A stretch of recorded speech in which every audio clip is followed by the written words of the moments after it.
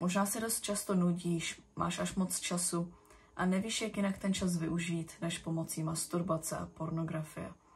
A v tomhle videu bych ti ráda představila nějaké alternativy, aby se konečně zbavil té nudy a mohl se zbavit té závislosti, co teďka máš na pornografii a masturbaci. Takže jmenuji se Anička, jsem na self-improvementu už přes rok a pomáhám mladým mužům s jejich vlastním seberozvojem, a to konkrétně s jejich závislostmi na pornografii a masturbaci.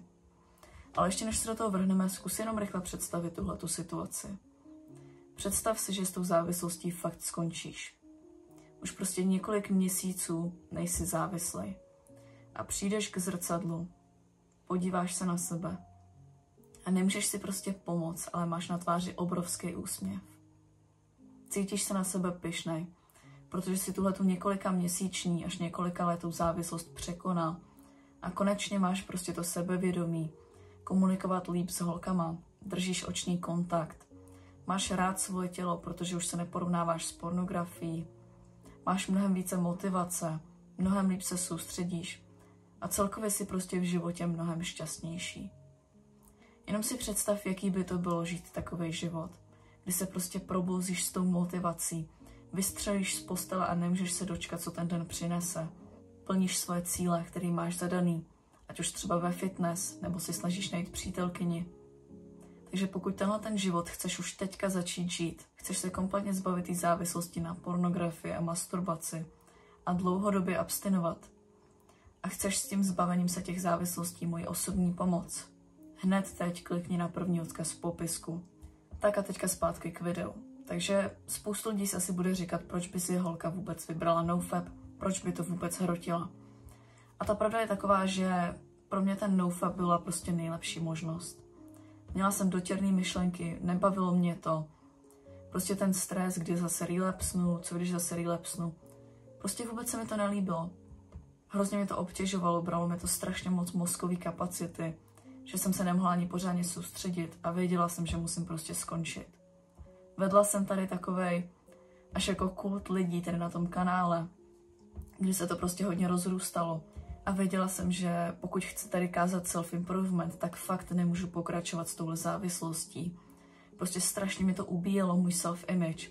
Cítila jsem se jako pod člověk, jako naprostý odpad, protože lidi na self-improvementu tyhle ty věci prostě nedělají. My jsme taková ta elita.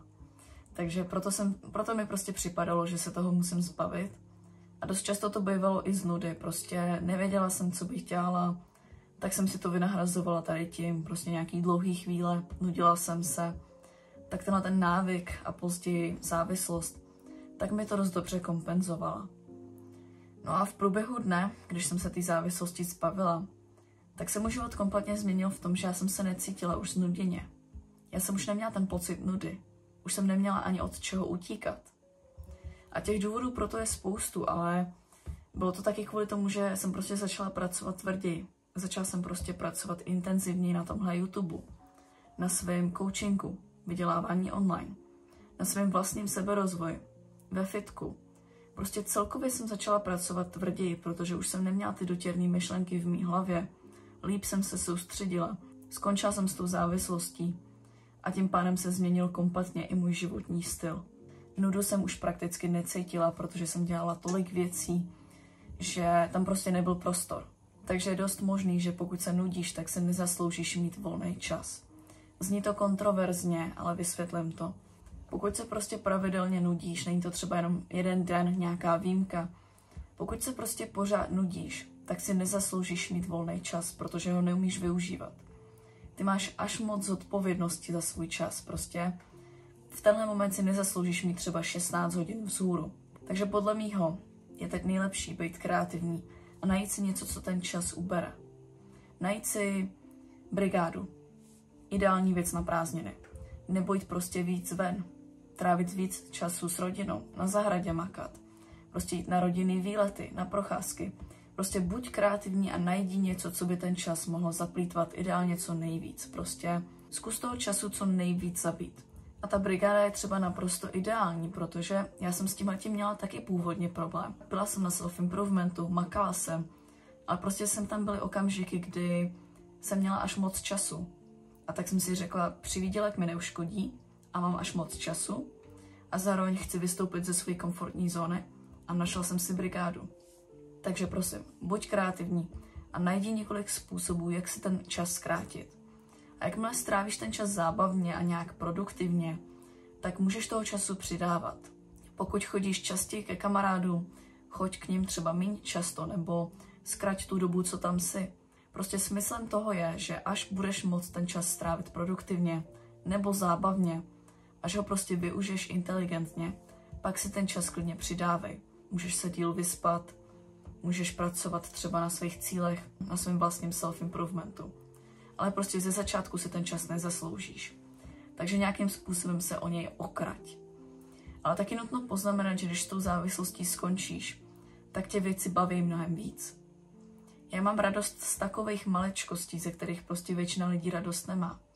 Mě udělá krásný východ slunce, fakt radost. Prostě necítím nudu, protože se mi spravil dopaminový systém. Ty závislosti, oni hodně poškozují ten dopaminový systém. Oni tam prostě smažejí ty receptory a když se té závislosti zbavíš, tak prostě se to všechno napraví, ty hladiny se srovnají. A tím pádem máš tak nějak pořád stálou hladinu dopaminu. A tím pádem se umíš prostě radovat z maličkostí.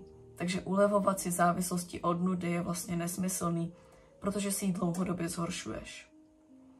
Pokud se ale nechceš procházet tímhle tím několika měsíčním procesem, nechceš prostě na to všechno přicházet sám a už teďka chceš začít žít ten život toho abstinenta, už teďka se chceš zbavit té závislosti na pornografii a masturbaci, tak pokud chceš s tím zbavením se těch závislostí moji osobní pomoc, hned teď klikni na první odkaz v popisku.